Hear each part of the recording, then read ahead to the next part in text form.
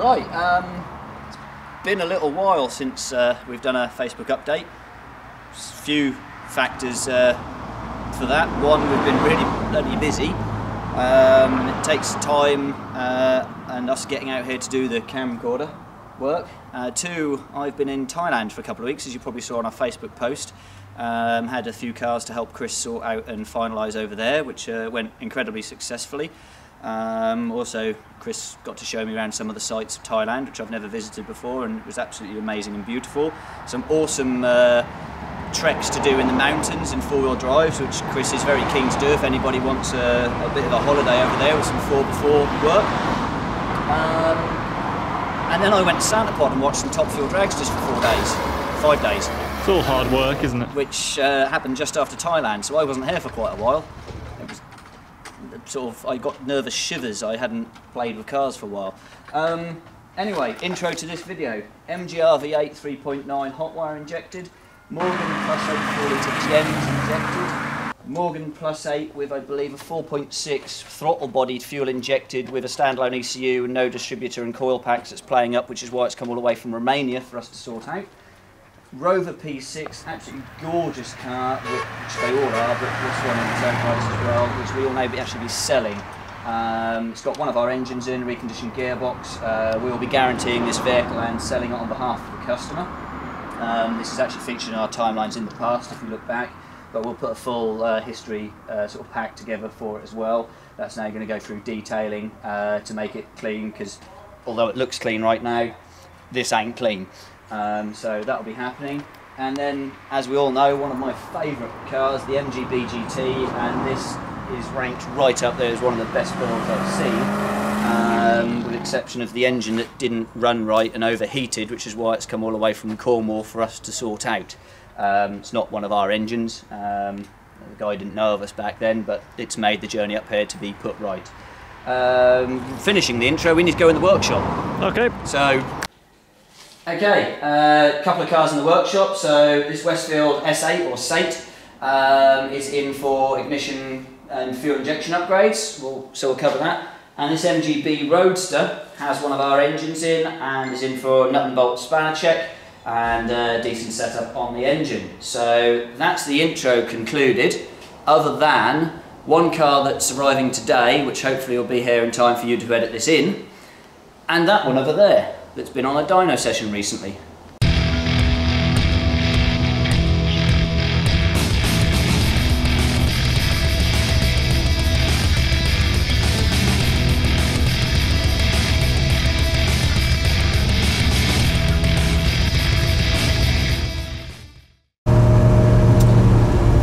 Out in a BGT then. Oh, yeah, one of my favourite places to sit, especially when they're a nice one like this. Um,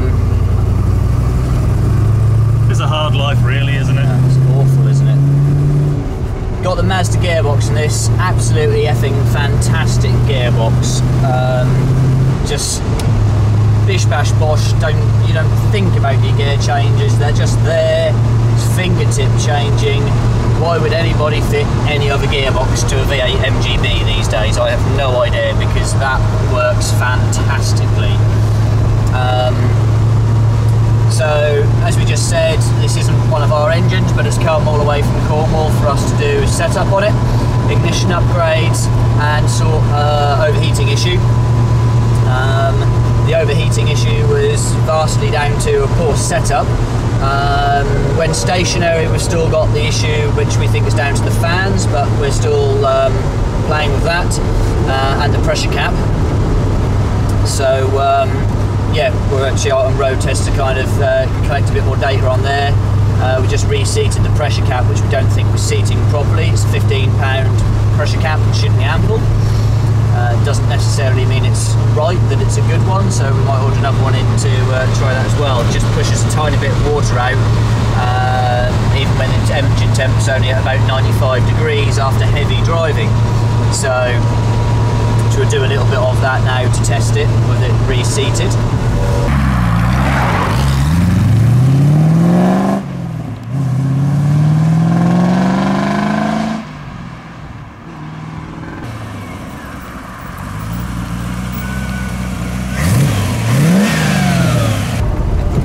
if this little 3.5 will pull 50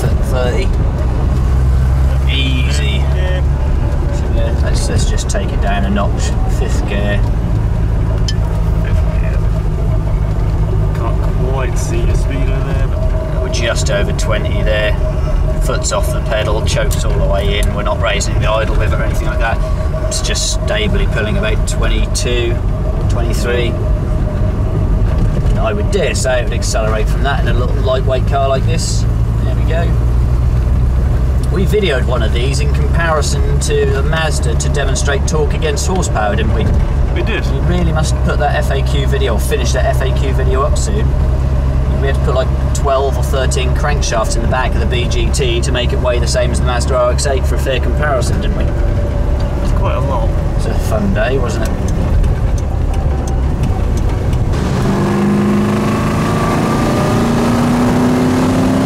For a 3.5, it's a nice engine. I think, um, believe, what we know, it's got a Hurricane cam in it, which is very similar to our 270 camshaft, a little bit more lift. Uh, I'm not too sure on the duration, but in ballpark, it's very similar to our mid-range 270 camshaft, which in an MG, yeah, really nice setup on a 3.5. But I mean, like I say, that gearbox, you can just, well, there's third, we have fourth, fifth, they're just there. You don't have to think about gear changes. With that Weber Edelbrock carburetor, just responds to everything we tell it to do. The ignition system's hitting it with a stonking great spark. That's what we call it, a stonking great spark. Stonking. Yeah, I don't know where that came from. Um, it, everything's just working incredibly well together. Um, yeah, really, really nice combo. How every MG should be. Carry on into the countryside, I think. Yeah, why not? Right, the MG RV8 then. We've seen, I want to say thousands of these. Um, it's, it's definitely well up there in the hundreds.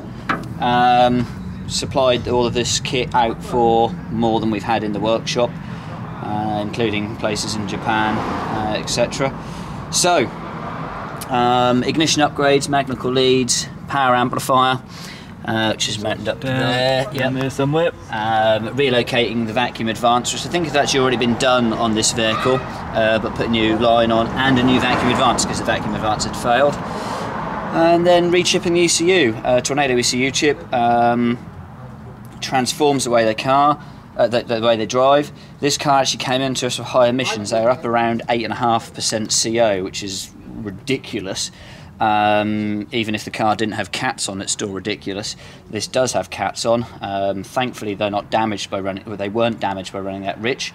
Uh, the COs are now down to about 0.02% on a fast idle test, uh, and similar on an idle test. Um, with hydrocarbons, of only a couple of hydrocarbons on the fast idle test where it matters for an MOT. So this one is fully sorted for what it came in for and transformed in the way it drives, as they always are with this program of upgrades. I always call this like a phase one correction package because that's more how I see it. It's really what they should have been when they came from the MG factory. Um, Blue Morgan is a GEMS powered vehicle, as I said in the intro, so uh, it doesn't have a distributor. Um, I can do this while we're on camera. We'll be opening the other side of the bonnet, Steve, if you transition over there. No, Um, no pressure. So, no bonnet stays, obviously, with a, a, a fabulous car like this. Um, so, yeah, it runs uh, effectively a GEMS P38 Range Rover engine. It's actually a Defender 90 50th anniversary style engine when you look at the, the front end setup on the on the uh, engine. So this, uh, very like much like the MGR V8, required ignition upgrades and fueling upgrades. All of that is done with the GEMS ECU and hair and Magnecor plug leads because there's no distributor to work with. Um, Morgan, in her infinite wisdom, removed the knock sensors on this, which is how the car detects where pinking is and how it um, adjusts its ignition timing. Um, we believe they did that to kind of put the ECU into a kind of default map to help it pass emissions. um, because that and coupled with a few other settings in the ECU that they really got wrong alongside the fuel maps they didn't change from Range Rover uh, totally stuffs the way this car drives from factory. Um, so this came in uh, because it was stalling a lot of junctions uh, very frequently. Hopefully you can hear me because there's a jet going over overhead. Um, so I think what we'll do now, um, this is all done, it's lovely, we'll go out for a ride. Alright, sounds good. Okay, so the main purpose of this road test obviously is to check uh, idle and uh, pulling up to junctions, so we'll do a few stop starts. Um, obviously the car's transformed in how it drives, chipping and re-profiling of the ignition tables is uh, done its work as they always do on these 4 litre Gems Morgans, just the same as when we do ignition upgrades on the earlier ones with distributors. We also uh, installed the knock sensors, which are missing on these models. Morgan, in their wisdom, removed them to fool the ECU. So again, just to check that we don't have any stalling issues, we'll just uh, pull over here, like we were pulling up to a junction.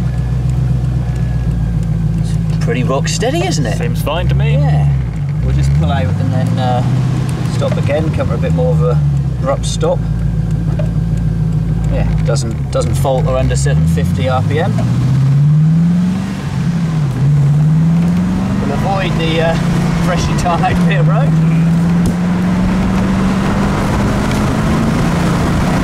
But infinitely more smooth to drive as always with these after the chipping.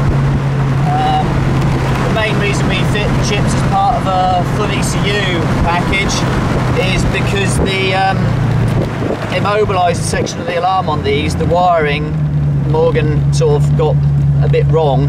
It's tied in amongst all of the dash wiring as well. Just come to a stop, the idle should drop, and it does. And um, causes the alarm signal that's sent from the, sorry, the immobilised signal that's sent from the alarm ECU to the petrol engine ECU to get disrupted. And um, it causes them to not start. So I had lots of these in for non-starting issues, which are easy for us to sort.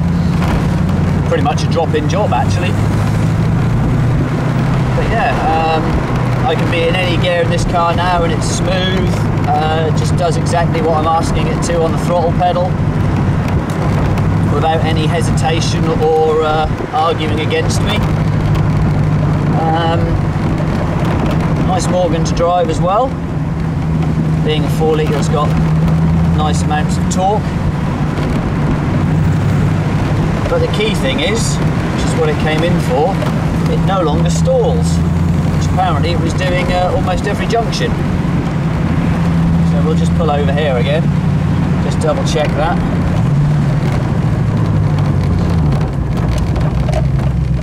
So we're down to 800 there straight away as soon as we stop. It drops down to 750. Lovely. I think we'll turn around here, Steve.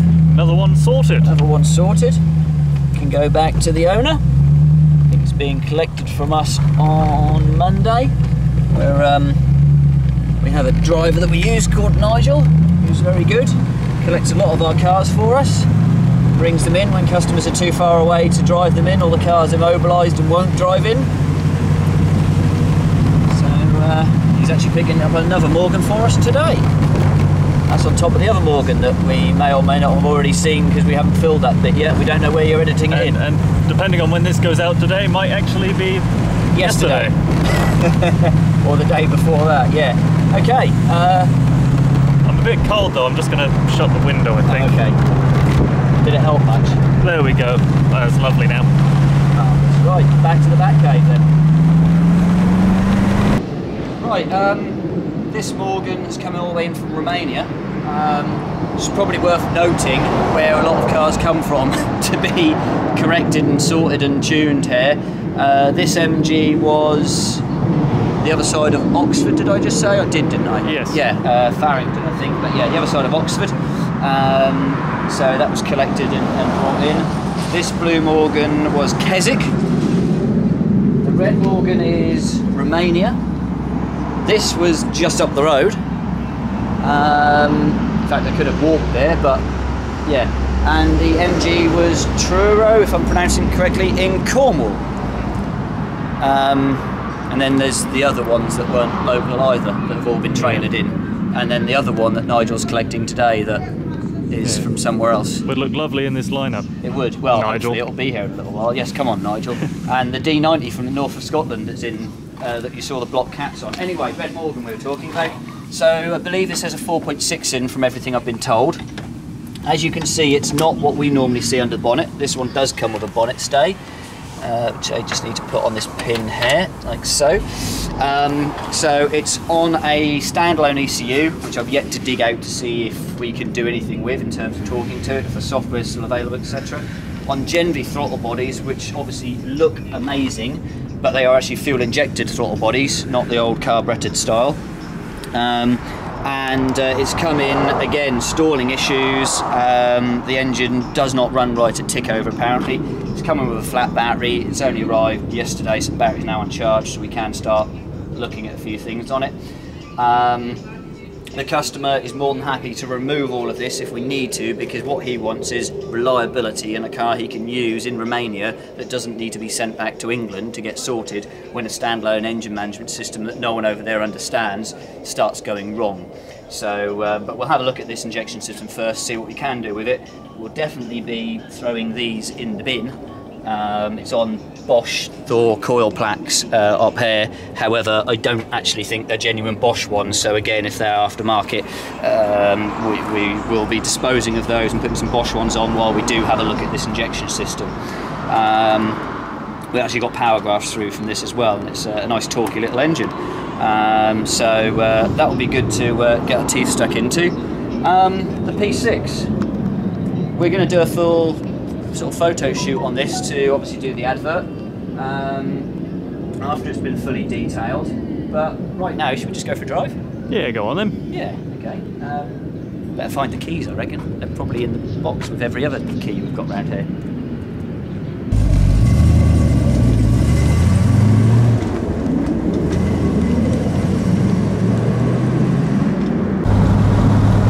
It's lovely, isn't it? I do like a P6. Do you know one thing that's wrong? Should not be wearing that in here. No. That's- Lowered the toning. Definitely not. It's not proper. No. So yeah, um, lovely P6. Um, customer spent probably a small fortune um, maintaining, improving over the years of ownership. Sadly, earlier this year he passed away, uh, so the family are now looking for a new uh, custodian, is it owner? Somebody to look after this uh, precious um, antique of a vehicle that you could use every day if you wanted to because it just works and starts every time you go to it but um, you know needs a garage and that to maintain its current state and somebody to love it um, and equally enjoy it I know I would but I ain't got a garage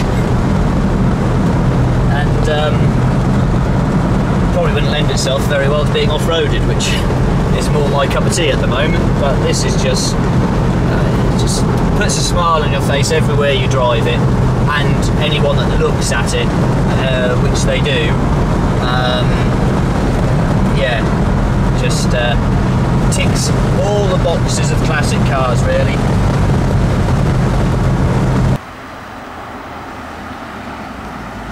Enjoying it too much. I'm going again. Oh.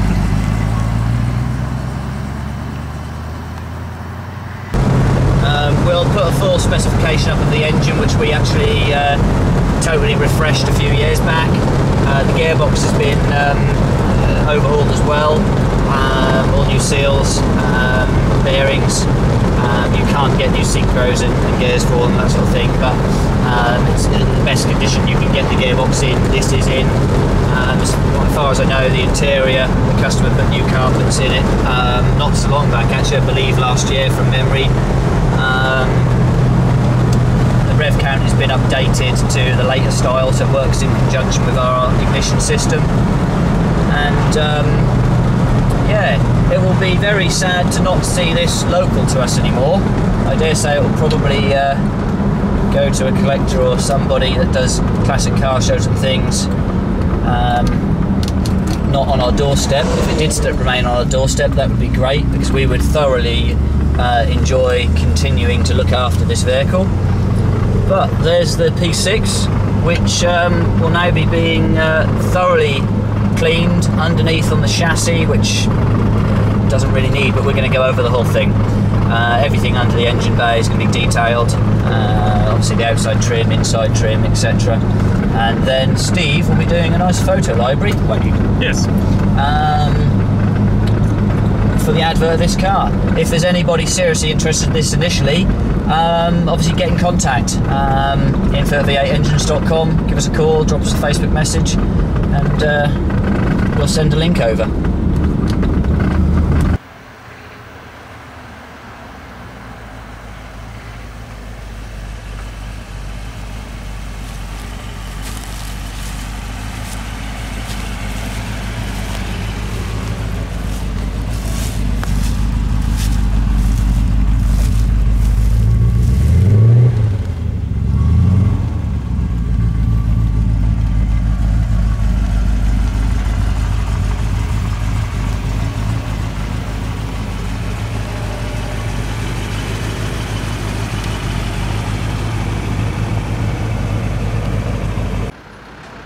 Where you go put this one in, Ian?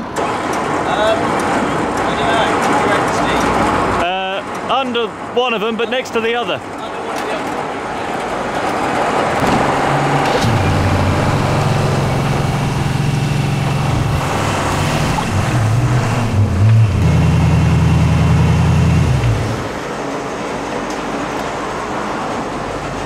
Right, we'll put a cover on that, tuck it up for the night, and uh, yeah, set to work on it in a few days' time when we've cleared up the other ones. Do you think we have enough Morgans now?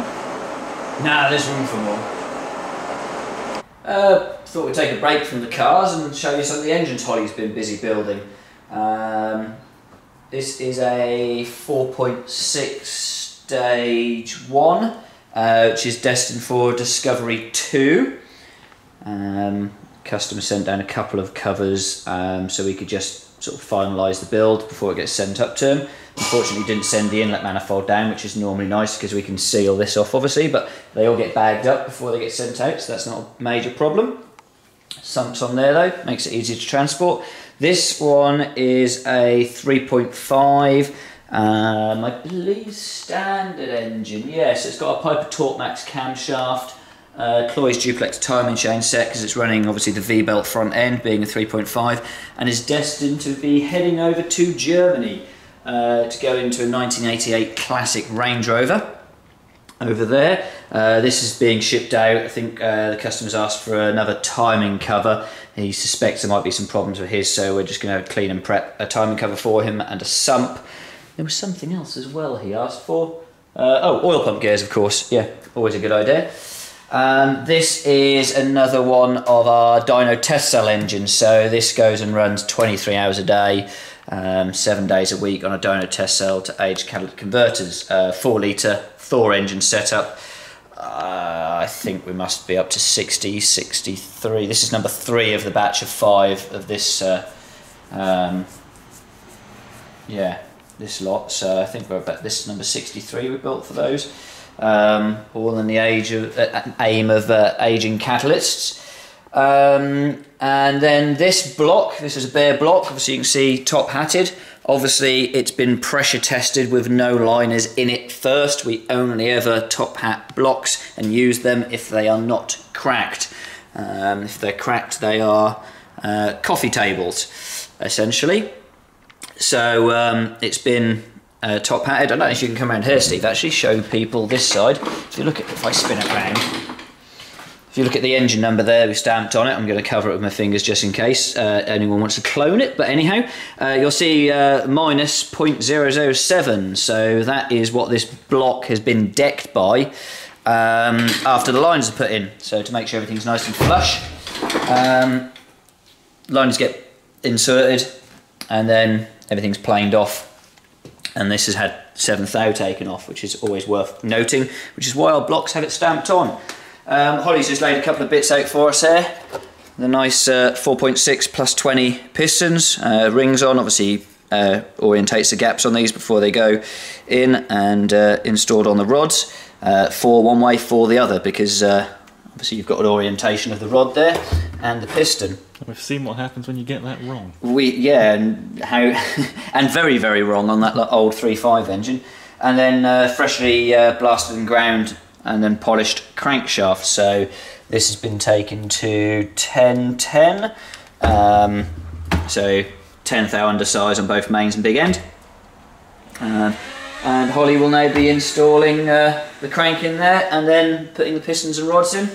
Um, and that engine is being built uh, going over to the States as a stage one, so we'll have the Piper 270 camshaft, and we're sending it over as a turnkey engine to go into a Defender, which is going to be left-hand drive, so we do a little modification to uh, the bracketry that would normally be in a P38 Range Rover. I'm pointing out there because it's P38s, but um, yeah, so we do modification to belt uh, where it goes so it misses the steering shaft, because they steering wheel's on the wrong side over there, isn't it?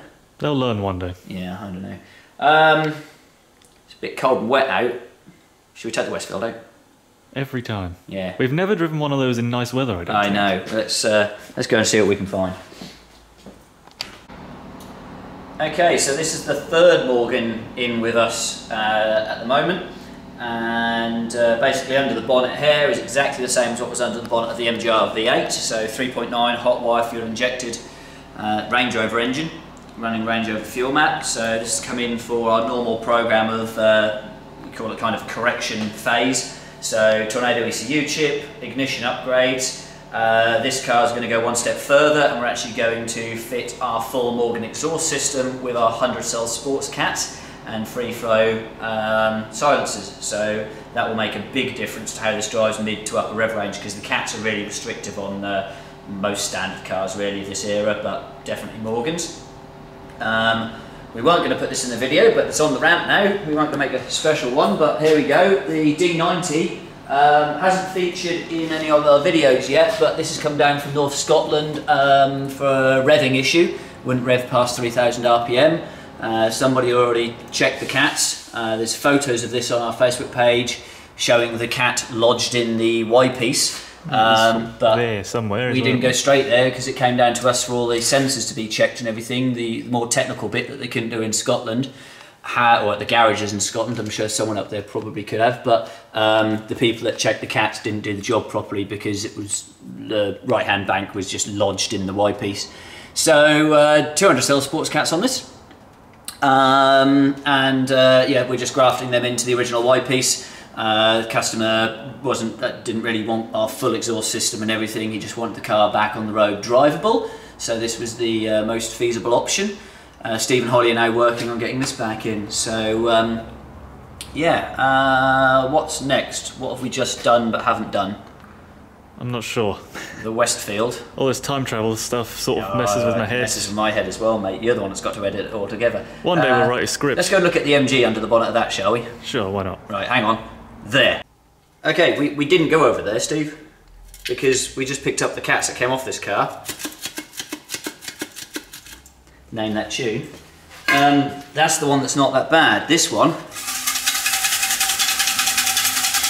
it's a really good one, I think. Huh.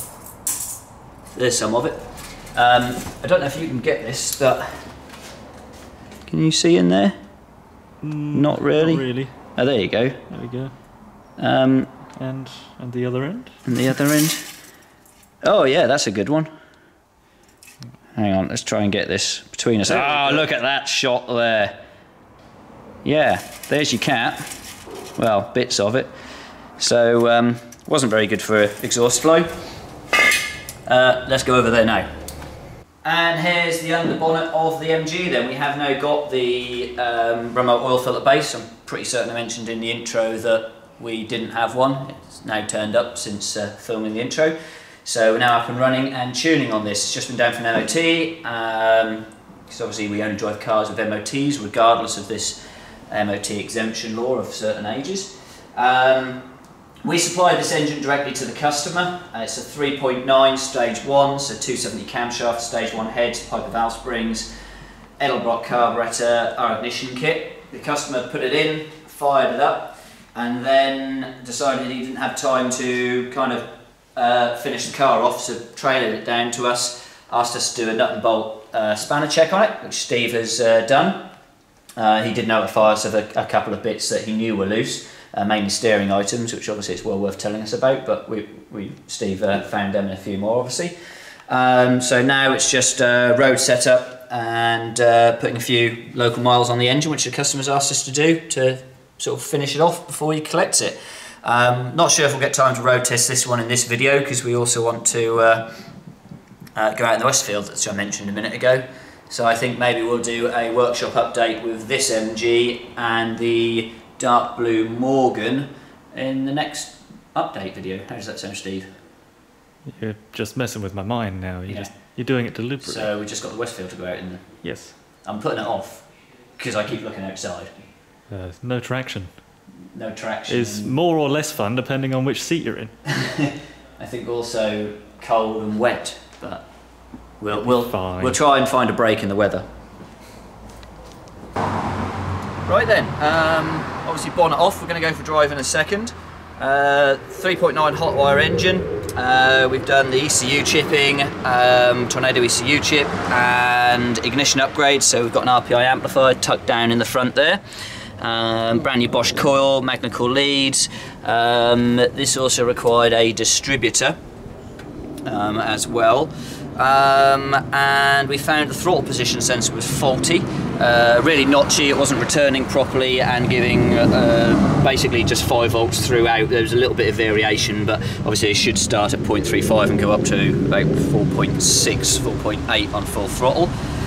Uh, we've replaced the throttle cable because that was notchy and giving a really bad throttle experience. Uh, you couldn't drive the car steadily or accelerate gently, it was more like an on-off switch for the first 25%. All of this combined, and now a correct breather setup, um, well, leads to uh, what we'll now do on road test. I just really don't want that to be wet because that black stuff on the road and those black tyres don't don't You should have thought of that Yeah. before you were in England. Um, let's go. Go. Um, finish the. Keep rolling. Let's just wait for the lorry to go past. Okay, uh, road test in the Westfield then, it's all done. Uh, we've even sorted this sticky throttle by replacing the throttle cable. And um, this is going to be a bit of a waste of time road test, Steve. It's a bit soggy. It's damp out and no weight on the back wheels. It's ridiculous.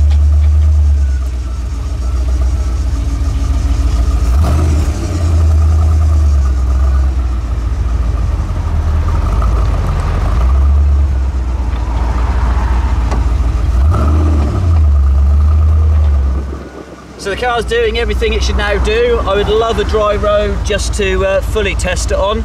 Um, we have taken up the rev range to make sure there's no issues um, up at five, 6,000 RPM, but um, only by tickling the throttle up there.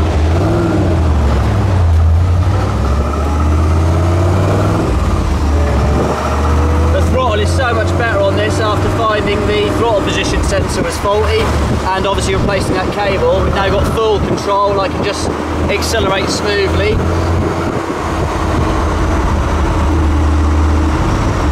I'll tell you what, if you want to be one with nature, this is a great way of doing it. Yeah. I should have put a hat on really, I think.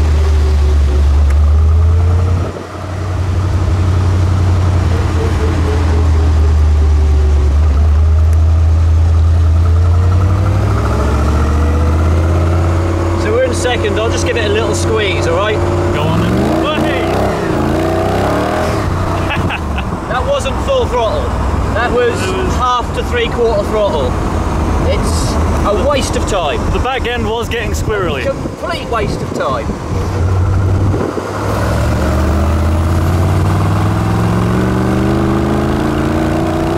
Yeah, that's as much as I'm gonna give the throttle pedal on this road because I like pointing that way. But it's good fun. And that engine is so crisp now. Just responds to every little every little throttle input you give it. Even in fourth gear. Let's put it in fifth gear. It's still pulling. As it will in a car that weighs probably only a little bit more than my push bike. It's got a bigger engine than your push bike though. Uh, what if I have Weetabix? Wow, well, then it's a different story. I have no idea where the wipers are in this car. Let's do that one. They're, they're generally on the windscreen, One. mate. Okay, so uh, it is now about to rain. We need to get back. Hey,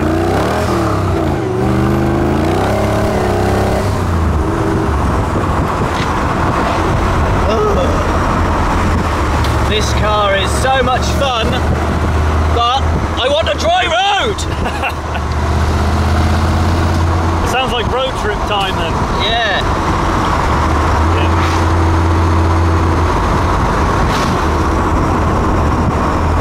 See, obviously we've chipped the ECU. Um, we already had the Westfield plenum, carbon plenum on here. We've done our ignition upgrades, uh, corrected the uh, all the sensors that we had, and uh, this is the result.